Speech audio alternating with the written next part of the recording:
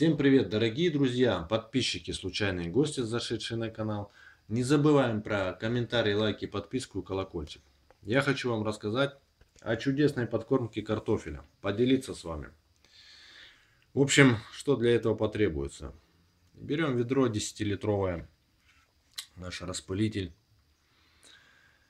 Берем, наливаем теплую водичку 10 литров борную кислоту размешиваем чайную ложку, ну, 5 грамм, в стакане или в кружке. Главное в кипятке. В кипятке она хорошо растворяется. В качестве примера покажу. В общем, после того, как мы все это размешали, борную кислоту, мы ее выливаем потом уже в ведро. Затем идет у нас марганцовка. Марганцовку мы в ведре размешиваем это пол чайной ложки марганцовочки наши. Размешали все. Затем у нас идет перекись водорода. Перекись водорода 100 мл на 10 литров воды. Все это мы размешиваем.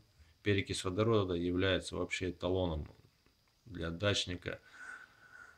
Она идет и в рассаду, много культур поливается. Перекись водорода вообще уникальная подкормка так же, как и дрожжи. Вот что дрожжи, что перекись водорода уникальна сама по себе. Ну, дрожжи не подойдут для картофеля, а вот перекись подходит. 100 миллилитров размешиваем в нашем растворе.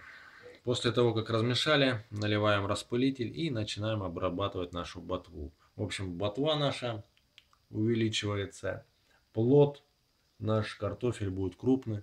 Всем желаю большого урожая, здоровья, удачи, не болеть. Всем пока. Подписываемся на канал. Не забываем про колокольчик.